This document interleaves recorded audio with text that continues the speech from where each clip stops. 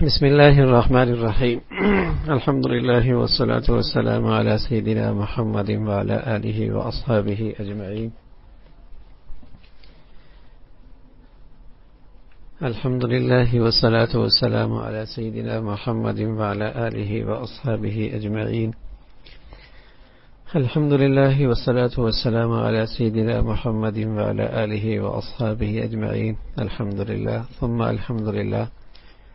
اللہ نے محض اپنے فضل و کرم سے اپنے پیارے حبیب صلی اللہ علیہ وسلم کی مبارک زندگی کے سلسلے میں ہمیں یہ مجلس عطا فرمائی ہے۔ آپ کا تذکرہ سننا بھی مبارک ہے، کرنا بھی مبارک ہے۔ اللہ ہم سب کے لیے اس کی برکتیں، رحمتیں مقدر فرما دے۔ اللہ کے نبی صلی اللہ علیہ وسلم کی خدمت میں مختلف قسم کے وفود اسلام لانے کے لیے حاضر ہونے لگے تو آپ علیہ السلاۃ والسلام نے بھی اطراف عالم کی طرف جزیرہ عرب، جزیر خاص طور پہ جنوب کی طرف آپ نے بھی دائی اور اسلام کے وفود بھیجنا شروع فرما دیے تاکہ لوگوں کو اسلام کی دعوت، اسلام کے بنیادی احکامات اور اسلام کے مبادی کی تعلیم دی جا سکے۔ جزیرہ اور اس کے مختلف اطراف میں اسلام پھیل چکا تھا اور ضرورت تھی کہ ان علاقوں میں معلمین، دائیوں اور رہنماؤں کو بھیجا جائے، جو وہاں کے جا کر اسلام کے حقائق، اسلام کی صحیح زندگی ان کے سامنے پیش کریں۔ رسول اللہ صلی اللہ علیہ وسلم نے خالد بن ولی رضی اللہ تعالیٰ کو نجران بھیجا تھا تاکہ وہاں کے باشندوں کو اسلام کی دعوت دے اور انہیں احکامات سے آگاہ کریں۔ اسی طرح آپ علیہ السلاۃ والسلام نے یمن کی طرف حضرت علی رضی اللہ تعالیٰ عنہ کو بھیجا۔ حضرت ابو موسا اشری حضرت معاذ بن جبل کو کو بھی یمن کی طرف بھیجا تھا۔ ان دونوں کو آپ علیہ السلاۃ والسلام نے یمن کے ایک علاقے میں بھیجا اور انہیں تاکید کی کہ لوگوں کے لیے آسانیاں پیدا کریں، انہیں مشقت میں نہ ڈالیں، انہیں خوشخبری سنائیں، متنفر نہ کریں اور استداد بھر کام کریں۔ پیارے رسول صلی اللہ علیہ وسلم نے معاذ رضی اللہ تعالیٰ سے فرمایا کہ تم ان قریب ایسے لوگوں کے پاس جاؤ گے جو اہل کتاب میں سے ہیں، اور جب تم ان کے پاس پہنچو تو انہیں اس چیز کی گواہی دینے کے لیے آمادہ کرو کہ وہ اس پہ آمادہ ہو جائیں کہ اللہ کے سوا کوئی معبود نہیں، محمد صلی اللہ علیہ وسلم اللہ کے رسول ہیں۔ اگر وہ تمہاری بات مان لیں تو ان سے بتاؤ کہ اللہ نے ان پر دن اور رات میں پانچ نمازیں فرض فرمائی ہیں۔ اور اگر وہ یہ بات بھی مان لیں تو انہیں بتاؤ کہ اللہ نے ان پہ زکوٰۃ فرض کی ہے جو ان میں سے مالدار ہیں، تاکہ وہ اس کو غریبوں پہ خرچ کریں۔ اور تمہاری یہ بات بھی اگر وہ مان لیں تو پھر انہیں بتائیں کہ زکوٰۃ میں سے صرف اچھا مال نہ لیا جائے، بلکہ درمیانہ مال لے لیا جائے۔ اور مظلوم کی بد دعا سے بچیں، اس لیے کہ اللہ اور اس مظلوم کی بد دعا کے درمیان کوئی رکاوٹ نہیں، کوئی حجاب نہیں۔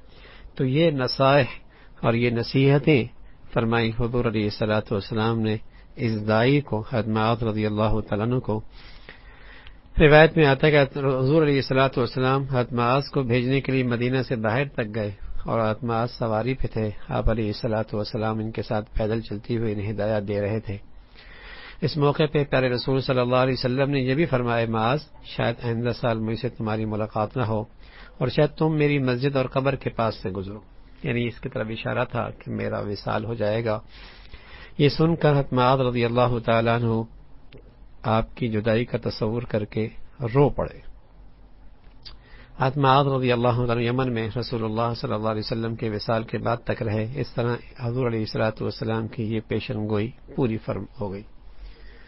تو اللہ کے نبی صلی اللہ علیہ وسلم نے اس سچے عاشق کو اور سچے نثار کو رخصت کرتے ہوئے یہ سن کو سواری پہ بٹھایا، خود پیدل چل رہے ہیں اور آخر میں اس بات کا بھی تذکرہ فرمایا کہ شاید اب دوبارہ زندگی میں تمہاری مجھ سے ملاقات نہ ہو۔ جب یہ رو پڑے تو اللہ کے نبی صلی اللہ علیہ وسلم نے بھی چہرہ پھیر دیا کہ کہیں میرا چہرہ دیکھ کر کہیں ایسا نہ ہو کہ ان کے دل میں اور زیادہ رقت پیدا ہو جائے۔ تو یہ اللہ کے نبی صلی اللہ علیہ وسلم کا دعات کا اور معلمین کا بھیجنے کا سلسلہ تھا۔ تو اس سے ہمارے سامنے یہ پیغام ہمارے سامنے آتا ہے کہ رسول اللہ صلی اللہ علیہ وسلم نے جو دعوت کے لیے مبلغین کو روانہ فرمایا اور ان دعات کو ہدایات دی تو اس سے یہ بات سامنے آتی ہے کہ یہ دعوت تمام مسلمانوں کی ذمہ داری ہے۔ ہمارے لیے صرف اتنا کافی نہیں کہ ہم زبانوں سے صرف اسلام کا دعویٰ کریں۔ اور یہ بھی کافی نہیں کہ صرف ہم ہلکے پھلکے کاموں پر اکتفا کریں، اسلام کا دعویٰ کر لیں۔ اسی طرح یہ بھی کافی نہیں کہ ہم بعد ہلکے پھلکے کاموں کو بس اختیار کریں۔ اور ایسے کام جو اپنے اصل کے اعتبار سے بڑے اہم ہیں، لیکن ہماری زندگی میں ان کی حیثیت رسوم اور روایت کی ہو گئی ہے۔ اس طرح یہ بھی کافی نہیں کہ ہم اسلام کو اپنی ذات تک محدود رکھیں۔ اور دوسروں کے لیے ہم خیر کا باعث اور دعوت کا باعث اور اسلام کے تعارف کا باعث نہ بنے یہ وہ امانت ہے جو رسول اللہ صلی اللہ علیہ وسلم نے اس امت کے کندھوں پہ ڈالی ہے۔ یہ وہ ذمہ داری ہے جو اس امت کا ہر فرد جو اس کا ذمہ دار ہے۔ تو ہر شخص کی ذمہ داری ہے کہ وہ اسلام کی خدمت میں اور اسلام کی دعوت میں اپنی حیثیت کے مطابق، اپنی استعداد کے مطابق، اپنے اختیارات کے مطابق، اپنے وسائل کے لحاظ سے اس ذمہ داری کو بجا لائے۔ رسول اللہ صلی اللہ علیہ وسلم معاذ کو اور موسا اشری کو رضی اللہ تعالیٰ کو روانہ کرتے وقت انہیں جو ہدایت فرمائی تھی، یہ دائی کی کے کچھ دائی کے دعوت کے کچھ آداب تھے، تعلیم کے کچھ آداب تھے۔ مثلا آپ علیہ السلاۃ والسلام نے ان سے فرمایا کہ مشقت اور تنگی کے مقابلے میں آسانی کے پہلو کو ترجیح دو اور ڈرانے دھمکانے سے زیادہ اچھا ہے کہ تم اچھے کاموں کے انعامات کا تذکرہ کرو۔ اور ڈرانے دھمکانے کو حضور علیہ السلاۃ والسلام نے متنفر کرنے سے تعبیر فرمایا۔ اور اس کی وضاحت رسول اللہ صلی اللہ علیہ وسلم نے ایک مثال سے دی۔ آپ نے فرمایا، معاذ کو حکم دیا کہ لوگوں کو پہلے کلمہ شہادت کا اقرار کرنے کے لیے کہو۔ اگر وہ ایسا کر لیں، پھر نماز کی بات کرو۔ اگر وہ ایسا بھی کر لیں، پھر زکوٰۃ کی بات کرو۔ اور یوں یک بعد دیگرے انہیں کام کی اور اسلام کے احکامات سکھاتے رہو۔ البتہ یاد رکھیے گا تحصیر اور تبشیر۔ آسانی پیدا کرنا، خوشخبری دینا، جو اللہ کے نبی صلی اللہ علیہ وسلم نے یہ معلمین کو سکھایا اور دائیوں کو یہ دائیوں کو یہ دعوت کے جو یہ اصول بتائے کہ آسانی سے کام لینا، خوشخبری سے کام لینا، اس کا مطلب یہ نہیں کہ جائز حدود سے آدمی ہٹ جائے۔ آسانی ہو لیکن جائز حدود کے اندر۔ خوشخبری سنائی جائے لیکن شریعت کے حدود میں رہ کر، شریعت کے حدود میں رہ کر، یہ نہیں کہ آسانی پیدا کرنے کے لیے آپ شریعت کا حد توڑ دیں یا اللہ کا کوئی حکم توڑ دیں یا آپ دین کے کسی حکم کے بارے میں تسامح سے کام لیں، یہ مطلب رسول اللہ صلی اللہ علیہ وسلم کا ہرگز نہیں ہے۔ البتہ یہ، اگر کسی کو آپ معاشی اور گناہوں پہ دیکھ رہے ہیں، تو آپ ان گناہوں سے روکنے کا ایک حکیمانہ انداز اختیار کریں۔ حکیمانہ انداز اختیار کریں اور مذمت کا مناسب اسلوب اختیار کریں۔ تاکہ وہ متنفر نہ ہو، بلکہ وہ اس کو، وہ آپ کو اپنا خیر خواہ سمجھے اور اپنا ہمدرد سمجھے۔ اور یہ مطلب نہیں کہ آپ اس کے گناہوں سے تسامخ کریں یا اسے نظر انداز کر دیں یا منکر پر آپ نقیر ہی نہ فرمائیں یا اللہ کے حکم کی آپ انہیں تلقین ہی نہ کریں، یہ ہرگز مطلب نہیں ہے۔ بلکہ شریعت کے حدود میں اس رہ کر ایسا اسلوب اختیار کیا جائے اور ایسا طرز اختیار اختیار کیا جائے جس میں خوشخبری ہو اور جس میں حوصلہ افزائی ہو اور جس میں آسانی کی صورت ہو۔ رسول اللہ صلی اللہ علیہ وسلم کے سامنے دعوت کے یہ اداب پیش نظر ہیں۔ دعوت اللہ کے اداب میں سے یہ بھی ہے کہ یہ امارت اور ولایت کے اداب میں سے بھی ہے کہ کسی انسان پر ظلم کرنے سے احتراز کیا جائے۔ خاص طور پر ایسا ظلم جو اس کے مال مال نحق لینے سے ہو۔ یہ ظلم ایک بھیانک قسم ہے۔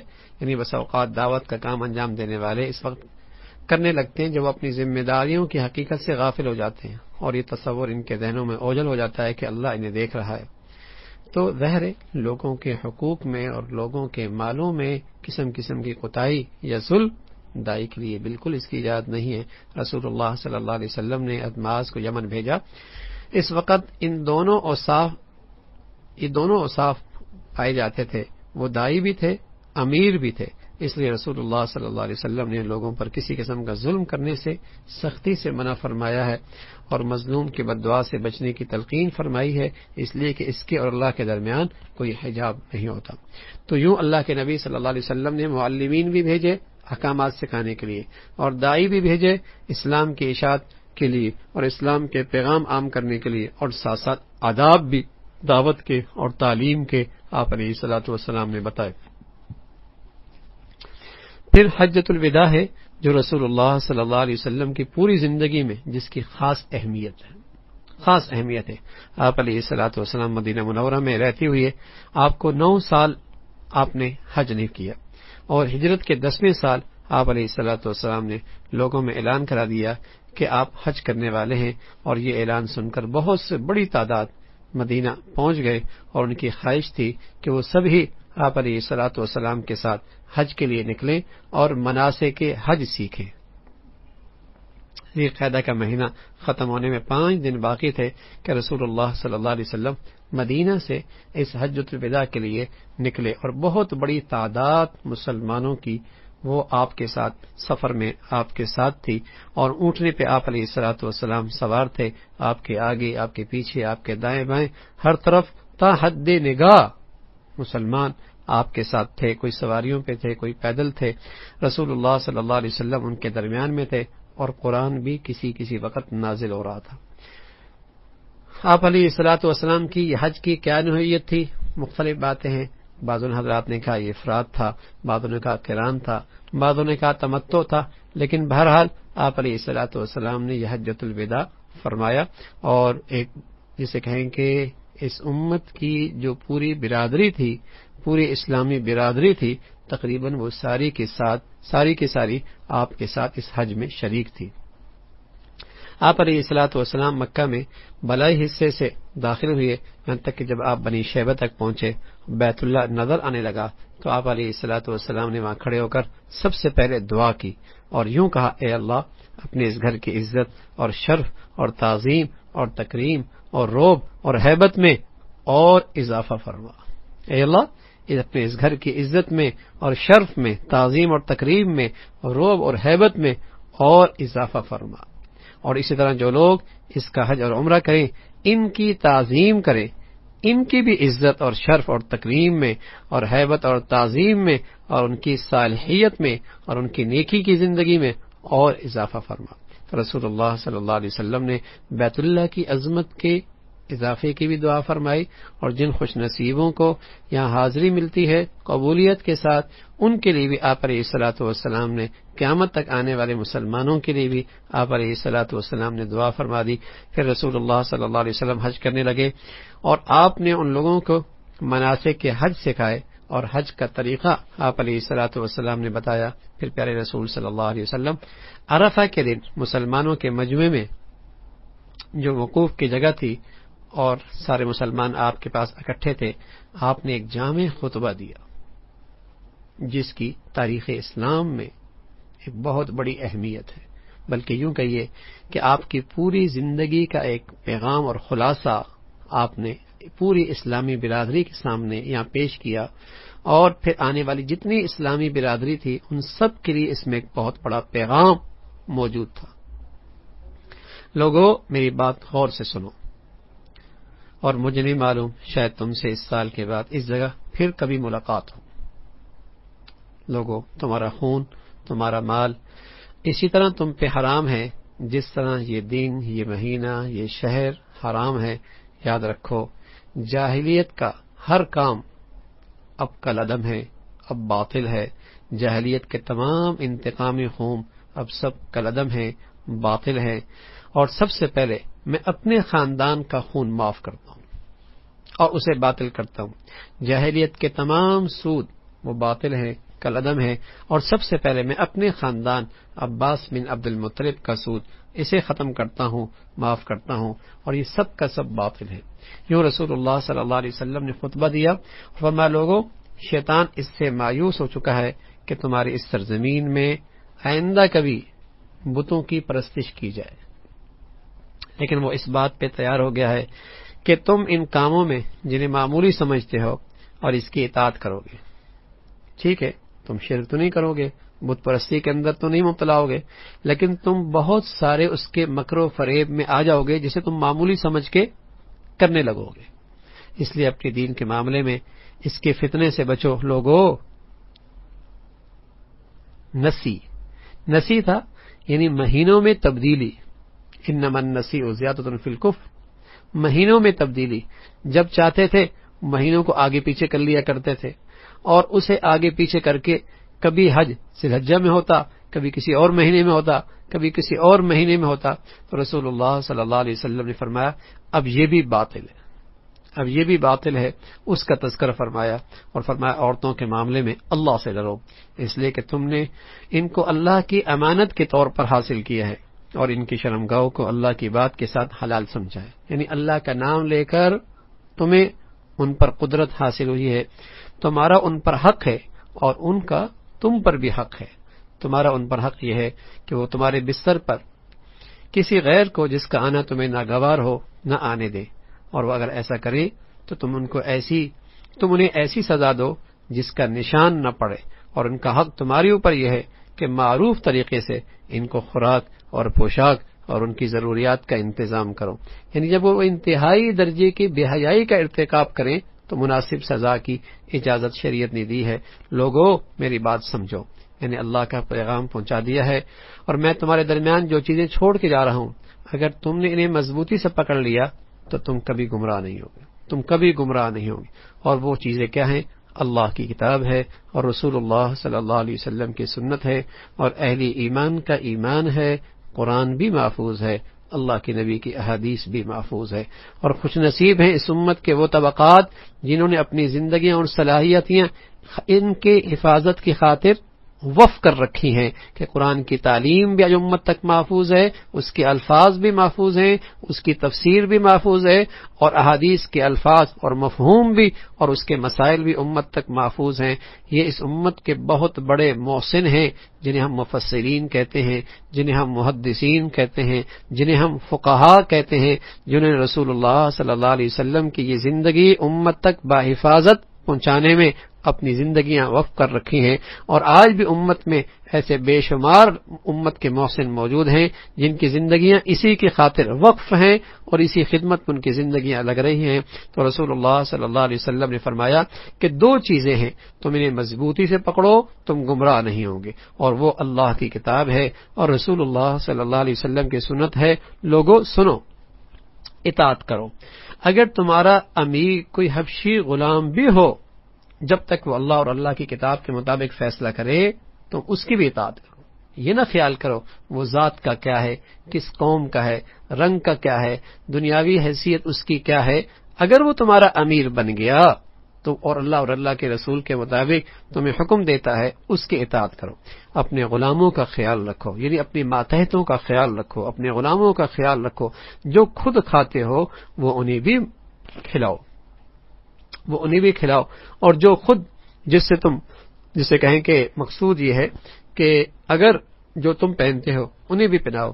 اگر ان سے کوئی غلطی سرزد ہو جائے، تو پھر تم انہیں معاف نہ کرنا چاہو تو اے اللہ کے بندو انہیں بیچ دو۔ لیکن تمہیں یہ حق نہیں ہے، تم انہیں اذیتیں دو۔ یہ تو غلام کی بات ہے۔ ملازم، ماتحت، اس کا معاملہ تو اور بھی آگے کا ہے۔ وہ تو آزاد ہیں۔ اگر تمہارا ان سے مزاج نہ نہیں ملتا تو ان پہ ظلم کرنا، انہیں اذیت دینا، انہیں رسوا کرنا، انہیں ذلیل کرنا، انہیں حقیر جاننا، اس کی اجازت نہیں ہے۔ اس کی اجازت نہیں ہے۔ ہاں مزاج نہیں ملتا، انہیں رخصت پہ بھیج دو۔ انہیں فارغ کر دو مناسب طریقے سے۔ لیکن اذیت اور ظلم یہ جائز نہیں ہے۔ لوگوں، میری بات سنو اور سمجھو۔ اچھی طرح جان لو، ہر مسلمان دوسرے مسلمان کا بھائی یہ حجت الوداع کے موقع پہ اللہ کے نبی صلی اللہ علیہ وسلم کا ایک جامع ترین، جس کا اسلامی تاریخ میں اور اسلامی زندگی میں اور اسلامی برادری میں اس خطبے کی بڑی اہمیت ہے۔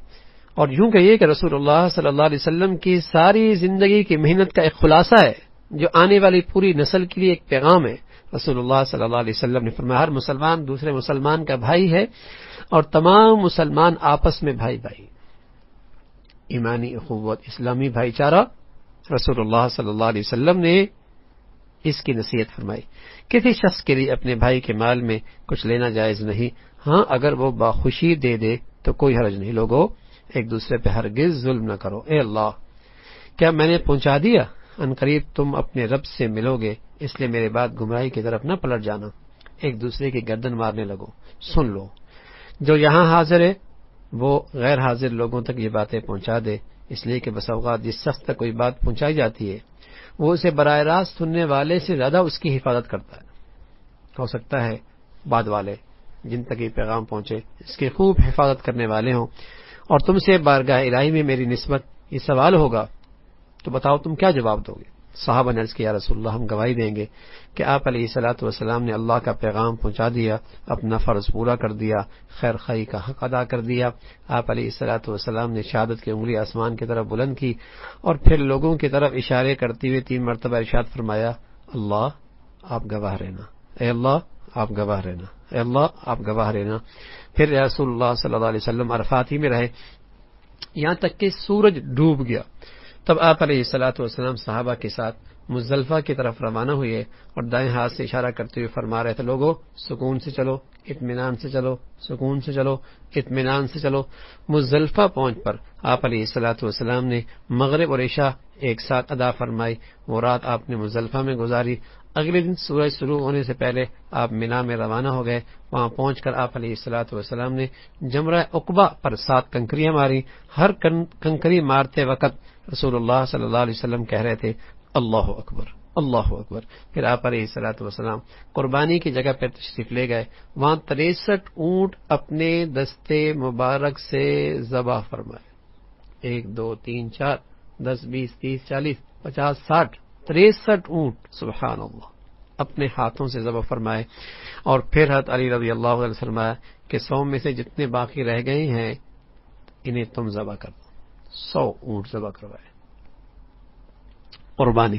بعد میں ادان کہتے ہیں نا، قربانی سے کیا ہوتا ہے؟ اتنا پیسہ ضائع ہو جاتا ہے، معاشی طور پہ اتنا نقصان ہو جاتا ہے۔ ان نادانوں کو کیا پتا اسلام کی روح کیا ہے؟ اسلامی احکامات کی روح کیا ہے؟ ان قربانیوں کی حقیقت کیا ہے؟ اللہ تو نہ مال دیکھتا ہے، وہ تو تمہارا اندر کا خلوص دیکھتا ہے، جذبہ دیکھتا ہے کہ تم اللہ کی خاطر اپنے جذبات کو کتنا قربان کر سکتے ہو۔ اس کی ایک شکل ہے یہ۔ پیش نظر معاشی فائدہ نہیں، پیش نظر اللہ کی رضا ہے۔ ورنہ ابراہیم علیہ السلاۃ والسلام کو یہ حکم کیوں ملتا کہ بیٹے کو ذبح کر دو؟ وہ تو اندر کا جذبہ دیکھتے ہیں، تقوی دیکھتے ہیں، اللہ سے اللہ سے تعلق ہے، اس کا امتحان ہے قربانی۔ تو معاشی حالت اس وقت مسلمانوں کی کیا تھی؟ لیکن اونٹ کتنے ذبح ہو رہے ہیں۔ سبحان اللہ۔ رسول اللہ صلی اللہ علیہ وسلم نے باقی علی سے فرمایا کہ تم کرو۔ جب ذبح ہو گئے، پھر آپ سواری پہ سوار ہو کے روانہ ہو گئے اور پھر آپ نے طواف زیارت کیا۔ طواف افاظہ بھی کہتے ہیں طواف زیارت بھی کہتے ہیں۔ مکہ میں زہر کی نماز ادا کی، اس کے بعد بنو عبد المطلب کے پاس گئے۔ وہ لوگوں کو زمزم پلا رہے تھے۔ آپ علیہ السلاۃ وسلام نے فرما عبد المطلب، بنو عبد المطلب، پانی نکال کر دو اور لوگوں کو خوب پلاؤ۔ اگر اس بات کا اندیشہ نہ ہوتا کہ مجھے پانی نکالتا دیکھ کر دوسرے لوگ بھی ایسا کرنے لگیں گے ٹوٹ پڑیں گے، تو میں بھی تمہارے ساتھ پانی نکال کر لوگوں کو پانی پلاتا۔ یہ اتنی بڑی خدمت ہے، اتنی بڑی سعادت ہے میں بھی یہ کرتا۔ لیکن اس خیال سے کہ لوگ سارے کے سارے ٹوٹ پڑیں گے، اس لیے میں ایسا نہیں کرتا۔ ان لوگوں نے ایک ڈول نکال کے دیا۔ آپ علیہ السلاۃ والسلام نے اسے نوش فرمایا، پھر مدینہ واپس تشریف لے آئے۔ یہ حجت الوداع ہے جو رسول اللہ صلی اللہ علیہ وسلم نے کیا۔ تو میں عرضی کر رہا تھا کہ اس حجت الوداع کی بڑی اہمیت ہے۔ رسول اللہ صلی اللہ علیہ وسلم نے اس حج کو اسلام کی دعوت اور آپ علیہ السلاۃ والسلام کے حیات طیبہ اور اسلامی نظام کی، پورے اسلامی نظام میں اور اسلامی زندگی میں اس کی خاص اہمیت ہے۔ اور بیت اللہ کی طرف آپ تشریف لے گئے، اس لیے کہ باقی سارے ارکان اسلام کے آ چکے تھے۔ نماز بھی صحابہ نے سیکھ لی تھی، روزہ بھی سیکھ لیا تھا اور زکوٰۃ بھی سیکھ لی تھی۔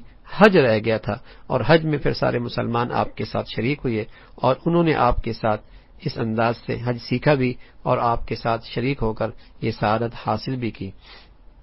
بیت اللہ کی طرف حج کی دعوت قیامت تک باقی رہے گی اور اس کی طرف اس دعوت کو اتنا صاف ستھرا رسول اللہ صلی اللہ علیہ وسلم نے یہ حج ادا کیا کہ یہ پوری کا پورا حج ایک توحید کا پیغام بن گیا۔ توحید کا پیغام بن گیا۔ اس لیے رسول اللہ صلی اللہ علیہ وسلم نے لوگوں میں اعلان کر دیا کہ آپ علیہ السلاۃ والسلام حج کا ارادہ رکھتے ہیں، اعلان سن کر سارے کے سارے ہر طرف سے لوگ اور ایمان والے امڑ آئے اور آپ علیہ السلاۃ والسلام کے ساتھ اس حد میں شریک ہو گئے۔ آپ علیہ السلاۃ والسلام کو احساس ہو گیا تھا کہ مسلمانوں کو جو آج بہت بڑی تعداد ہے، مختلف مقامات میں پھیلی ہوئی ہے، سب کی چاہت ہے کہ مجھ سے ملاقات کریں اور میں بھی پوری اسلامی برادری کو آج اکٹھا دیکھنا چاہتا ہوں، تو وہاں آپ علیہ السلاۃ والسلام سے ملاقات بھی ہو جائے گی اور یہ فریضہ بھی سیکھ لیں گے اور اس میں شریک بھی ہو جائیں گے۔ آپ علیہ السلام بھی چاہتے تھے کہ تمام مسلمانوں سے ایک مرتبہ ملاقات بھی ہو جائے اور پھر آپ عرفہ میں، وادی ارنا میں آپ علیہ السلاۃ والسلام نے ایک تفصیلی خطبہ دیا۔ اور یہ خطبہ، اس کے بہت سارے پہلو قابل غور ہیں، قابل توجہ ہیں اور امت کے لیے اس میں بہت بڑا پیغام ہے۔ آپ علیہ السلاۃ والسلام نے ایک امانت دی ہے امت کے لیے۔ اور یہ آپ کی پوری زندگی کی جسے کہنا کہ خلاصہ تھا۔ جب آپ علیہ السلاۃ والسلام کے گرد، ہزاروں لوگ اکٹھے تھے اور آپ اپنے رب کے سامنے خوشو اور خدو کے ساتھ مناجات میں مصروف تھے، تو آپ علیہ السلاۃ والسلام دیکھ رہے تھے کہ حد نگاہ تک، وہ جو اتنے تیئیس سال تک آپ نے جو قربانی کی تھی، جو جد و جہد کیا تھا اور جو جہاد کیا تھا اور جو آپ نے دعوت کے لیے مشقتیں اور مجاہدے اٹھائے تھے، آج اس کا مبارک ثمرہ آپ کی آنکھوں کے سامنے تھا۔ اور وہ پورا ایک منظر تھا جو آپ اب کو دیکھ کر خوشی ہو رہی تھی۔ رسول اللہ صلی اللہ علیہ وسلم ان کے چہروں میں آنے والی نسلوں کو دیکھ رہے تھے۔ تو پھر آپ علیہ السلاۃ والسلام نے خطبہ دیا اور فرمایا لوگوں میری بات غور سے سنو۔ مجھے معلوم نہیں کہ شاید میں تم سے اس سال کے بعد پھر یہاں تم سے ملاقات کروں۔ میری بات پوری ہوش کے ساتھ سنو اور پورے سارے کے سارے صحابہ آپ کی بات کی طرف متوجہ ہو گئے اور جو آپ نے سب سے پہلی بات فرمائی، سبحان اللہ، کتنی اہم بات ہے اور کتنی عظیم بات ہے کہ آپ علیہ السلاۃ والسلام نے فرمائے لوگوں تمہارا خون، تمہارا مال، اسی طرح تم پہ حرام ہے، جس طرح یہ دن یہ مہینہ، یہ شہر تم پہ حرام ہے۔ آپ نے ہدایت دوبارہ اپنے خطاب کے آخر میں فرمائی اور اسے ہر وقت اپنے پیش نظر رکھنے پہ زور دیا کہ مسلمانوں کو ہمیشہ یہ چیز پیش نظر رکھنی چاہیے کہ مسلمان دوسرے مسلمان کا بھائی ہے۔ تمام مسلمان آپس میں ان کے اندر ایمان، اسلام کا رشتہ ہے۔ اور کسی کا مال لینا، کسی کی عزت سے کھیلنا، کسی مسلمان کے لیے جائز نہیں ہے، کسی پہ ظلم ڈھانا، یہ مسلمان کے لیے جائز نہیں ہے، اس کا تذکرہ فرمایا۔ اور دوسری دفعہ، دوسری بات یہ فرمائی کہ جس کی حیثیت ایک قراردار کی ہے، جس کا مطلب یہ تھا کہ لوگوں، میں یہ ایک قراردار آپ کے سامنے پیش کرتا ہوں۔ اور وہ یہ تھی کہ جاہلیت کی جتنی رسمیں تھیں، چاہے اس کا تعلق خون سے ہے چاہے اس کا تعلق سود سے ہے، چاہے جس کا تعلق دیگر رسوم سے ہے، آج کے بعد وہ ساری چیزیں قلعدم ہیں، باطل ہیں، اور اس سلسلے میں سب سے پہل میں اپنے خاندان سے کرتا ہوں، خون بھی معاف کرتا ہوں، اور اپنے خاندان کا سود بھی معاف کرتا ہوں۔ اسی کا تذکرہ فرمایا۔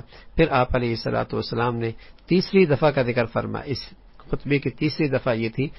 کہ جو مہینوں کے سلسلے میں کوتاہی ہو رہی تھی اور یہ جو جس میں رسول اللہ صلی اللہ علیہ وسلم حج کر رہے تھے، یہ حج کا مہینہ ذی الحجہ کا تھا۔ اور آپ علیہ السلاۃ والسلام فرما رہے تھے کہ اب پھر یہ سال پھر مہینے گھوم کر زمانہ پھر اپنی جگہ پہ آ گیا۔ یعنی جس موقع پہ حج ہونا تھا، اس سال حج اسی مہینے میں ہو رہا اور آئندہ سے اسی مہینے کے اندر یہ حج ہوا کرے گا۔ تو رسول اللہ صلی اللہ علیہ وسلم نے اس کا تذکرہ فرمایا اور ساتھ اپنے خطبے میں خاص طور پہ تلقین فرمائی، عورتوں کے ساتھ اس سے سلوک کرنے کی وصیت فرمائی۔ مختصر اور جامع کلام کے ذریعے تاکید فرمائی کہ عورت پر عہد جاہلیت میں ہونے والے مظالم کا اب خاتمہ ہونا چاہیے۔ اور اسے حقوق اور انسانی شرط کی جو ضمانتیں اسلامی شریعت میں موجود ہیں، اب اس کا اہتمام ہونا چاہیے۔ عورتوں کے ساتھ حسن سلوک کی تاکید کے لیے ضروری تھی کہ مسلمان قریبی زمانے میں اسے احساس ہو کہ جو شرف اور جو عزت اور جو حقوق اسے اسلامی شریعت میں ملے ہیں، دنیا کی کوئی تہذیب بھی وہ اسے حقوق دینے کے لیے تیار نہیں ہے۔ اس لیے آپ علیہ السلاۃ والسلام نے خاص طور پہ اس کی تاکید اور تلقین فرمائی۔ پھر پانچویں دفعہ یہ تھی کہ آپ علیہ السلاۃ والسلام نے لوگوں کے سامنے اپنی زندگی پیش فرمائی۔ اور ساتھ ہی فرمایا کہ دیکھو، تمہاری زندگی کے دو سرچشمے ہیں، ہدایت پہ رہنے کے اور دین پہ رہنے کے اور کامیابی پہ رہنے کے لیے۔ وہ دو سرچشمے ہیں۔ اگر تم یہ ضمانت دیتے ہو کہ تم ان سرچشموں کی حفاظت کرو گے اور ان سے رہنمائی لیتے رہو گے، تو پھر میں ضمانت دیتا ہوں۔ تم گمراہی سے محفوظ رہ جاؤ گے۔ تم محفوظ ہو جاؤ گے۔ پھر اس کا تذکرہ فرمایا، وہ قرآن ہے، وہ حدیث ہے۔ پھر رسول اللہ صلی اللہ علیہ وسلم نے بتایا کہ ہمیشہ اپنے امیر کی اطاعت کرنا، اپنے حاکم کی اطاعت کرنا جب تک وہ اللہ اور اللہ کے رسول کے تابع ہو۔ اور جب تک وہ اللہ اور اللہ کے رسول کے مطابق فیصلے کرتا رہا ہو۔ اس کا تذکرہ فرمایا، آخر میں رسول اللہ صلی اللہ علیہ وسلم نے یہ احساس دیا کہ جو تبلیغ کی ذمہ داری میرے سپرد تھی وہ میں نے ذمہ داری پوری کر دی۔ اب یہ ذمہ داری تمام مسلمانوں کے ذمے ہے۔ اس کا تذکرہ آپ علیہ السلاۃ وسلام نے فرمایا اور تمام مسلمانوں سے اس سلسلے میں اطمینان بھی لیا، ان سے اقرار بھی کروایا۔ تو رسول اللہ صلی اللہ علیہ وسلم نے اس انداز میں یہ اپنا خطبہ مکمل فرمایا۔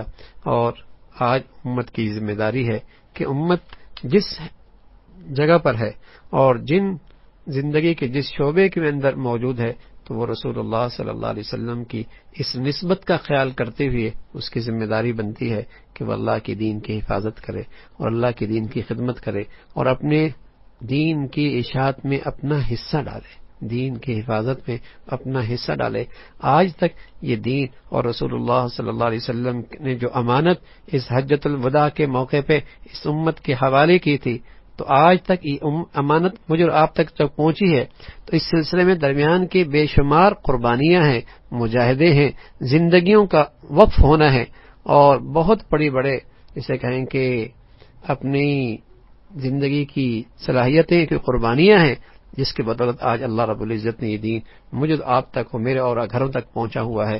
لیکن آئندہ بھی اگر یہ امت کے افراد اس خدمت کو اپنی ذمہ داری سے اسے کرتے رہیں گے تو اللہ کی ذات امید ہے یہ امانت آئندہ نسلوں کے ساتھ بھی باحفاظت پہنچتی چلی جائے گی اور یہ رسول اللہ صلی اللہ علیہ وسلم کی محبت کا اور آپ پر ایمان لانے کا اور آپ سے سچی نسبت کا تقاضا یہ ہے کہ ہم رسول اللہ صلی اللہ علیہ وسلم کے دین کی حفاظت کرنے کے لیے کھڑے ہوں اور اپنے نبی کی زندگی کے لیے اور اس کے اشاعت کے لیے اپنی صلاحیتوں کو صرف کریں۔ اللہ یہ سعادت ہم سب کو نصیب فرما دے۔ سبحانک اللہ بحمدک نشد اللہ الہ الا اللہ، نستغفرک و نتوب الیک۔